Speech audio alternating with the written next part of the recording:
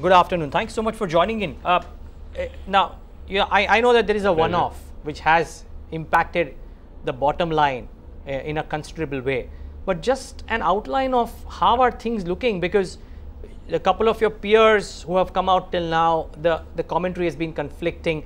You too, the- your, your, your revenue number has uh, been in line but marginally off from what we were anticipating as well.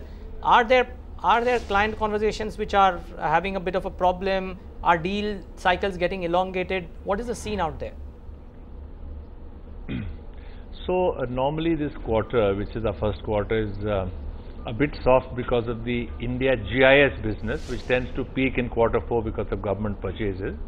So a bit of the softness this uh, has come because of that, and also a bit has come from from UK business of the insurance product. Last year, this quarter we had a very good set of uh, order intake and revenue.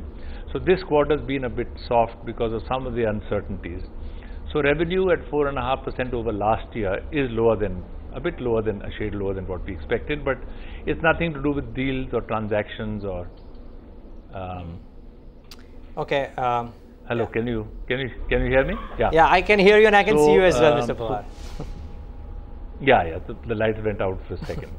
So nothing in terms of macro factors, but um, I think we did have these two reasons for a bit of a softness which happened. Does it change in the next quarter? What's the outlook? Yeah, so I think the order intake has been at 101, which is uh, a tad lower than our run rate for the last couple of quarters, which is running at 120, because a couple of deals just got shifted by a few weeks, I would say. So we will make up that plus our run rate of 120 in the coming quarter. So that should that should be fine in terms of order intake. Um, and uh, we have to wait for the uncertainties in the in our insurance product business. Not very large, but there are quarters where it tends to be large, and it is uh, IP based, so it impacts profitability a little bit. So we'll have to watch for that rather carefully. Okay, you know, uh, within the breakup, uh, yes, so you part explained the slowdown in the GIS business to seasonality. What about lower revenue from government clients hurting the domestic business? 8% of revenue?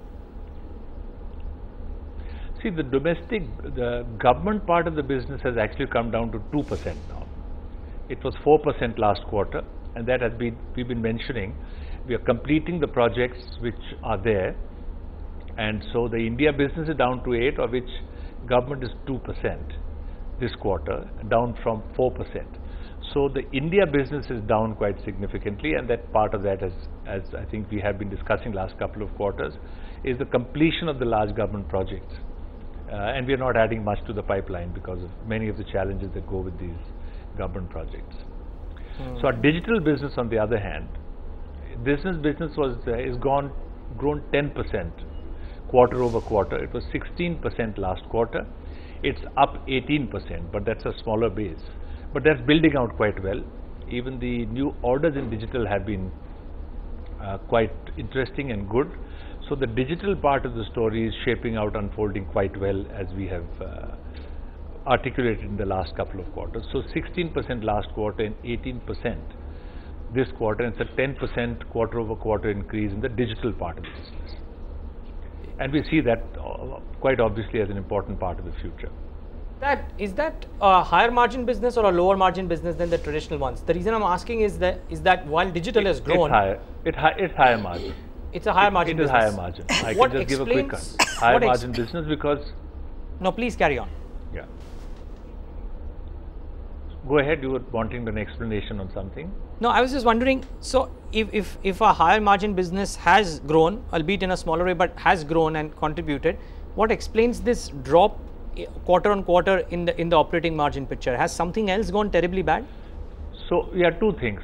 Two things basically. See, one is seasonal. One is the GIS business, which is all product business in India, is profitable. So that peaks in Q1, and that has been a bit less in Q. Uh, in sorry, peaks in Q4, which is the Jan, Feb, March government purchasing quarter. Tends to be lower, but was a bit lower. And the second is the, again the IP business, the product business for our subsidiary in UK, which does the the NITL, which does the product IP. That actually last year, this quarter was a very good quarter. This year, that has been less than we expected. Part of the uncertainties in the marketplace was because there the order execution cycle is quite short as well. So these are the two contributions for which have impacted margin. Because normally margin in Q1 is about 220 basis points lower because of salary, but this time it's another 80 basis points lower because of these two main reasons, which is both GIS as well as NITL, which have been somewhat lower than what we expected. So if you were to, uh, you know, just for the benefit the of your digital build is di- digital is building out. Yeah, Okay. sorry, go ahead. No, Go ahead. uh, Mr. Pawar, if you were to, you know, uh, put out a range that is sustainable on margins, given these headwinds, uh, for the rest of the year, what would that range be? Plus minus.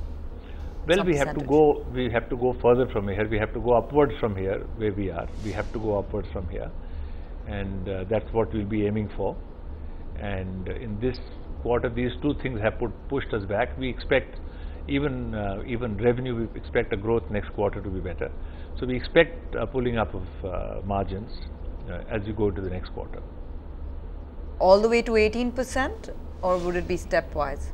I mean, is that by the end of the year, do you think watch, that you. Let's watch. We Okay, I we would just. like to take it up there. I think we would like to take take it up there. Okay. Also, your order intake, sir. I know, um, you know, last quarter around you did about 120 million dollars. Uh, this time the number has come in about 100 million dollars. It's just 20 do- million dollars short, but you know, in rupee terms, that amounts to about 140, 150 crores. Uh, is this going to be the new run rate quarter on quarter? No, no, no, no. I think we will cover this and get back to our run rate of 120 because there are two particular transactions, one of which is done but not contracted. So I think in this uh, second quarter we'll cover up this and be back to the run rate of 120. That's just a, a shift of a few weeks. Uh, two two significant contracts, which uh, one of which was actually concluded but not signed, meaning uh, terms agreed, everything done. So that's a matter of a few weeks uh, that these two. So we'll, I think we'll be sustaining our rate of 120 million, which we achieved two quarters ago, and that will happen in this quarter. I just want to also highlight. 101 is short. Yeah. I also want to Yeah, uh, touch upon the risks coming in from uh, the Brexit vote. I mean, you have a fair amount of exposure to EMEA, and that business declined. Is there any uh, impact on the fallout? Uh, right now, it's too immediate, so most managements are not willing to put out a comment. But you know, uh, for uh, and we're going to be watching out for the business confidence numbers also in the region. Uh, on how you know client spending pans out, but is there a worry there? Are you cushioning yourself in some way uh, to the downside? Well, see the see the thing. There are two opposing forces. One is that one of the things which was which we have been looking at as a risk from India in UK was free movement of uh, talent across EU, which was a challenge for India. So we see that as a medium term upside for us as an industry. But I think in the period of little confusion, even in NITL, we did see that the Lloyd's market, for example, which uses our new platform, those I think those that industry has to see how its own impact uh, of the Brexit happens. So for the insurance market, which is our big customer for the NITL platform, they have to settle their own views because that's the product which has done well. Uh, we and last year this quarter we had a very good growth because of the orders that came in. So we we are waiting for the, some of the dust to settle.